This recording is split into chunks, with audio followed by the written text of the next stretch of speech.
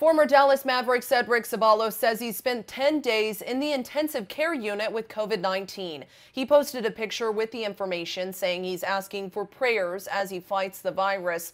The now 52 year old spent 11 seasons in the NBA with five teams. Katie Johnston for CBSN DFW.